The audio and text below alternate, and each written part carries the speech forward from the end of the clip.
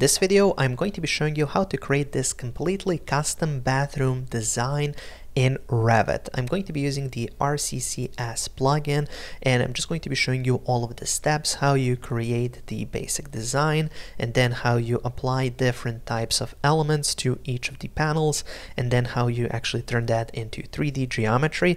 And the best part is this is all going to be done in less than 10 minutes. Let's go.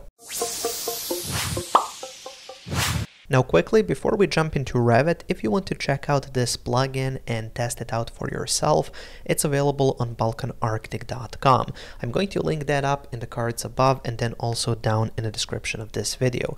With the plugin, you will also get some educational content which I've created so you can easily get started and use it on your own projects. Now, without any further ado, let's jump straight into Revit. And here we are in Revit. As you can see, I have already set this project up a little bit. So here we just have these three walls for this bathroom. And then if I go to the south elevation here, you can see I've used these uh, detail lines in order to, or just regular lines, in order to present how uh, this bathroom should look. So I've thought about the design and this is usually the first stage. You use lines in order to kind of sketch out what you want to see. Here I want to see a mirror then I want to have these two vertical elements. Here I want to have a couple of drawers above the sink or below the sink. And then here I want to have just some shelving on this uh, wall. Okay, so now when I have set all of this up, I can get started with the RCCS plugin. So I'm just going to go here to the RCCS tab. I'm using the 24 version because I'm using Revit 2024. And you can see these are all of the tools that you get. Now, the first set of tools here is the lines so you can use those lines to sketch everything out and then the next step is to create a wall. So this plugin uses curtain walls in order to kind of facilitate this whole design. Uh, you're using curtain walls as your base and then you're building on top of that and then all of these elements that you create are going to be uh, basically placed in as curtain wall panels. So we first need to place the walls. So for that, let's go into level one, click on wall, and it's going to place four walls. In this case, I don't really need four. So what I'll do is first, I'm just going to move this into position. So for that, let's move this one to this reference plane here this one to this wall, and then this one aligned to the wall. Now here I only need the one that's aligned to the wall, so I'm just going to select these two, hit delete, select this one, delete, and then if I go to the 3D view, you can see I just have this one curtain wall. Now let's go back to the south elevation and continue from here. So there I want to adjust the top of the curtain wall to go to the top of the shelving here and now we can get started with sketching out our kitchen as curtain wall grids. So as I said, uh, it's using curtain wall panels to create the elements, but we have to use the grids in order to separate uh, this uh, curtain wall into individual panels. So in this case, let's get started by clicking on the grid tool. I'm going to use full segment for the first one, and then I'm just going to click here just like that then let's do the other vertical one. So that's here. Now, if you're not sure if you're going to be accurate, you can just place a couple of them like this, hit the escape key a couple of times, then go to the align tool, and then you can align those, oops, those curtain grids. You can use the tab key uh, to select individual lines and then you can align the grids like that. Now moving forward, let's go back to the grid tool, use the one segment option and then let's place one here, one here, just like that. We need one here as well. So you just come to an existing one and then you click to place. So we want one here as well. Again, where it's not aligned perfectly, you can use the align tool just like this here as well and the rest I think okay here I need to align it there we go perfect and then I would just use the same approach for these so that would be the grid tool use the one segment option and now I'm just going to uh, basically segment this out uh, for this side Okay, and now finally we need to segment out the mirror. As you can see, this is just one big surface. So what I'll do is I'm going to go here to grid use one segment and then let's place a couple of these vertical segments like this. Hit the escape key a couple of times, go to align, and then let's align this grid like that. Perfect. Then for the next step, I'm going to hit the escape key a couple of times, then go again to grid, one segment, and here, if I want to try to place one segment, it's not going to allow me to do that. Same thing goes here. The reason for that is if I select this grid line here, you can see it's already going through that position. Same thing goes with this one. So what I can do is I can go to add remove segments and just add a segment here and then hit the escape key a couple of times, select this grid line, add remove segments and add a segment here, hit the escape key a couple of times and now as you can see we have that mirror kind of laid out perfectly and we now you have pretty much everything. So this is now ready to convert into the actual elements. Now, if I go back to the south elevation, here I have set up some of the depths here. So you can see this is depth of 500 millimeters. These should be at 400. And let's get started with actually converting this into actual elements. So for that, I'm going to use different elements here. So for example, let's go with a shelf. I'm going to use a single shelf, and then I need to place a uh, value here in the data entry.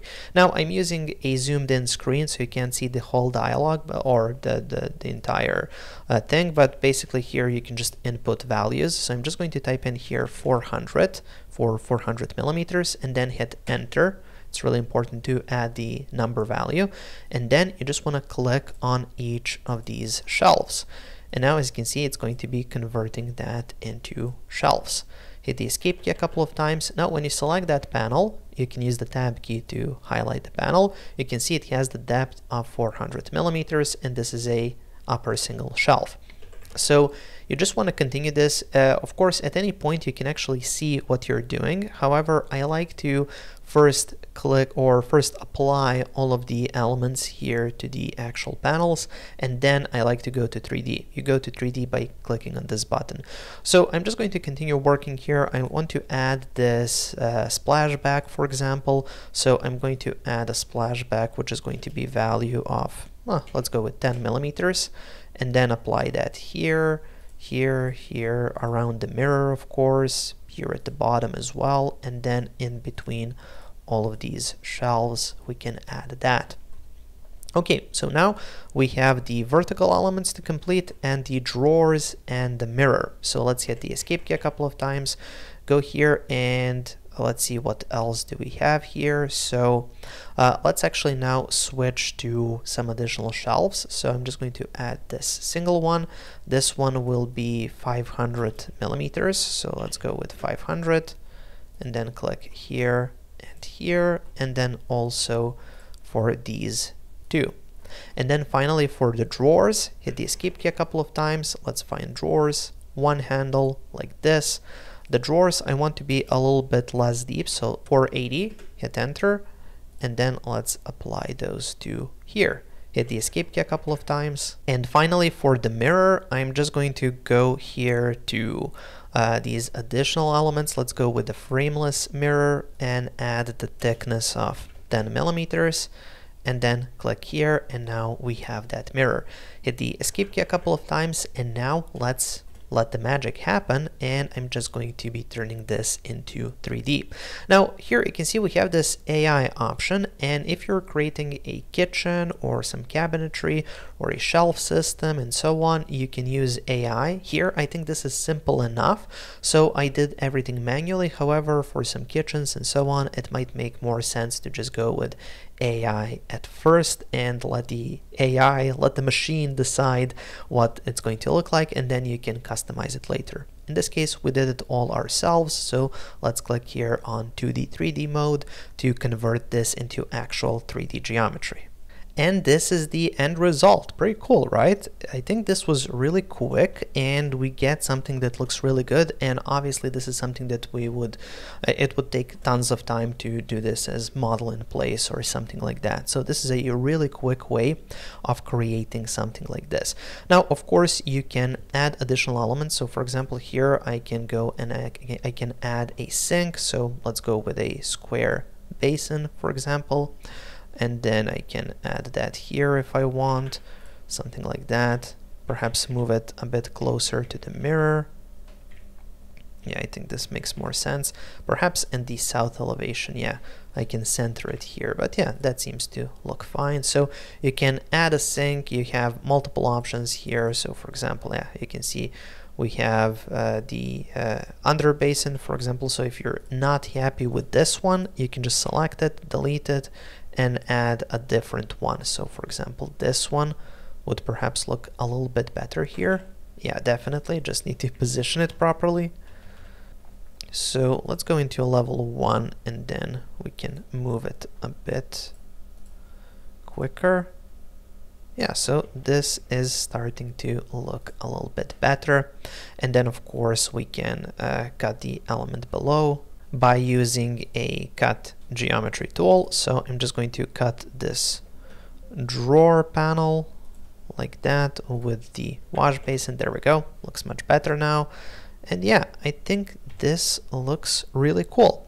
Uh, now, of course, you can modify it even further. So if you're not happy with the handles on these drawers, you can go here and find the handles and then find the ones that you like. For example, I really like these bar 4 and then I can just come in here and I can click on the existing ones and it's going to convert it uh, to that. Obviously you can input the value of how wide you want those to be and you can play around like that. But there we go. We have a really cool, let's switch this to realistic, a really cool bathroom uh, design uh, done in a really short time. So again, if you want to check this out, it's available on my website under plugins. And also if you want to get access to this Revit project file, as well as all of my other Revit project files, you can find that on my Patreon page, which I'm going to link up in the cards above and then also down in the description of this video. Thank you for watching, guys. Make sure to check out my website, balkanarchitect.com, for more uh, Revit courses. Uh, there I have over 120 hours of content, uh, and I'm adding more each week. Make sure to subscribe uh, for more videos, and also I've added a video over there that might interest you as well.